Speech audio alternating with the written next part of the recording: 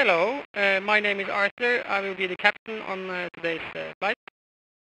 I hope you all uh, lean back, uh, sit back, and have a pleasant flight. Uh, and uh, I will take you through, the, through this uh, very quickly. So, uh, please, uh, cabin crew, prepare for takeoff, and have a nice flight.